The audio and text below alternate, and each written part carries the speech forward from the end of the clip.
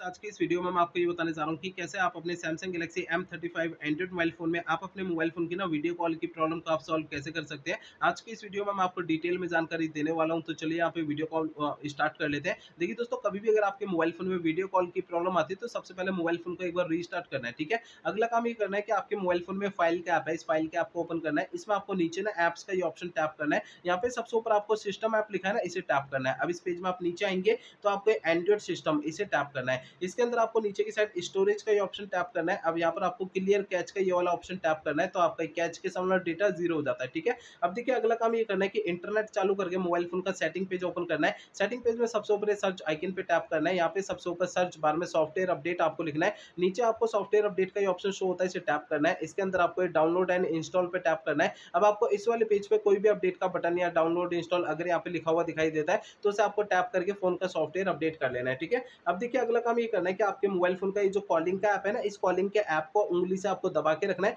आपका एक छोटा सा पेज ओपन होता है। इसमें देखिए कोने में सर्कल के अंदर आई बटन बना हुआ है ना, इसे आई बटन को टैप करना है। तो आपका ये ऐप इन्फो का ये पेज आता है। इसमें आपको नीचे स्टोरेज स्टोरेज पे टैप करना है ये वाला ऑप्शन ठीक है? इसके अंदर आपको नीचे क्लियर कैच क्लियर कैच का ये ऑप्शन टैप करना है तो आपका कैच के सामने डेटा ज़ीरो हो जाता है, ठीक है? अब देखिए अगला काम ये करना है कि आपको अपने मोबाइल फ़ोन को ना रीसेट करना है। देखिए मोबाइल फ़ोन को रीसेट आपको तब करना है, जब मेरे बताए हुए पिछले प्रोसेस कोई भी काम नहीं करते हैं, तब आपको फ़ोन को रीसेट करना है। अदरवाइज़ नहीं करना है। फ़ोन को रीसेट करने के लिए फ़ोन का सेटिंग पेज ओपन करिए। सबसे ऊपर आपको सर्च आइकन पे टैप करना है। यहाँ पे सबसे ऊपर सर्च बार में रीसेट आपको लिखना है। आपको नीचे ऑप्शन मिलता है फैक्ट्री डेटा रीसेट इसे टैप करना है। इसके अंदर आपको नीचे फैक्ट्री डेटा रीसेट का ये ऑप्शन दोबारा टैप करेंगे तो इससे आपका फ़ोन रीसेट हो जाएगा और आपकी प्रॉब्लम सॉल्व हो जाएगी। लेकिन फ़ोन को रीसेट करने से पहले दो बातों का ध्यान रखना है। पहली बात ये ध्यान रखनी है, आपके मोबाइल फ़ोन का जो डेटा है उसका बैकअप ले लीजिए अपने फ़ोन में। और दूसरी बात ये ध्यान रखनी है, आपके फ़ोन की जीमेल आईडी और उसका पासवर्ड आपको पहले से नोट करके रखना है। तो ये दो काम पहले करना है, उसके बाद फ़ोन को रीसेट करना है, ठीक है? तो मेरे बताए हुए तरीकों से आपकी प्रॉब्लम जो है सॉल्व हो जाएगी, ठीक है ना?